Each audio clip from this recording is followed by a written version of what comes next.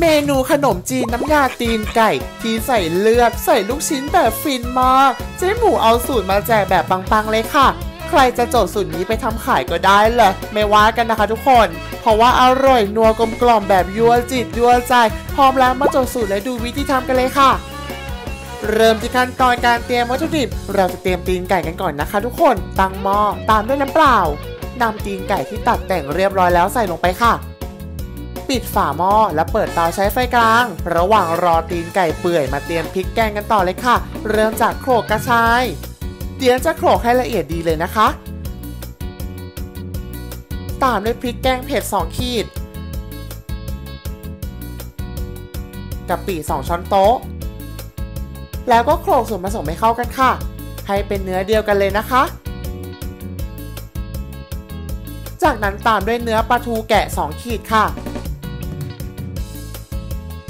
โขลกส่วนผสมภายในครกให้เข้ากันดี ขั้นตอนนี้ห่อพริกแกงมากเวอร์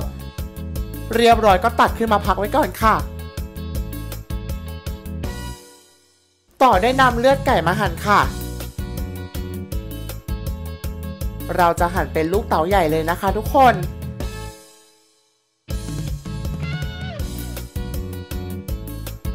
หั่นจนหมดแล้วนำไปพักไว้ก่อนนะคะ เตรียมของเสร็จแล้วตีนไก่ที่เราต้มไว้ก็เปื่อยได้ที่พอดีเลยนำลงจากเตาแล้วมาเริ่มลงมือทำน้ำยาตีนไก่กันเลยค่ะ ตั้งหม้อตามด้วยกะทิ 500มิลลิลิตร จากนั้นตามด้วยพริกแกงที่เราโขลกไว้ค่ะ เปิดเตาใช้ไฟกลาง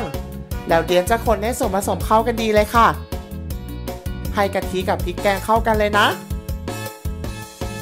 ตามด้วยห่างกะทิ 1 ลิตร คนให้ส่วนผสมในหม้อเข้ากันดีค่ะ จากนั้นปรุงรสด้วยผงปรุงรส 1 ช้อนโต๊ะ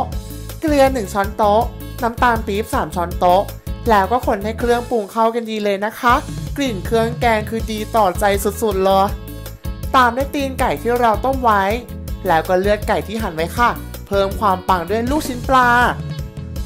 คนในส่วนผสมภายในหม้อเข้ากันอีกรอบค่ะหอมไม่ไหวน้ำลายแตกไปหมดแล้วค่ะทุกคน เรียบร้อยก็พร้อมเสิร์ฟแล้วค่ะ ขนมจีนมันเลยจับสองจับว่ากันไปค่ะ แล้วก็ตักน้ำยาตีนไก่ร้าดลงไปได้เลยสิคะ ทั้งตีนไก่เลือดไก่ ลูกชิ้นปลาของชอบเย็นทุกอย่างเลยอะค่ะพริกแกงก็นัวแบบขั้นสุด เอาสูตรนี้ไปทำขายได้เลยนะคะทุกคน อย่าลืมแชร์สูตรกันด้วยนะเดียนขอตัวไปกินขนมจีนก่อนจ้า ใครสนใจสินค้าเจ๊หมูทางจับยวน ผัดไทย และขนมจีนหมูหิวทัก inbox page หรือ add LINE ID แอดหมูหิวมาได้เลย เจ๊หมูรับสมัครตัวแทนด้วยนะจ๊ะ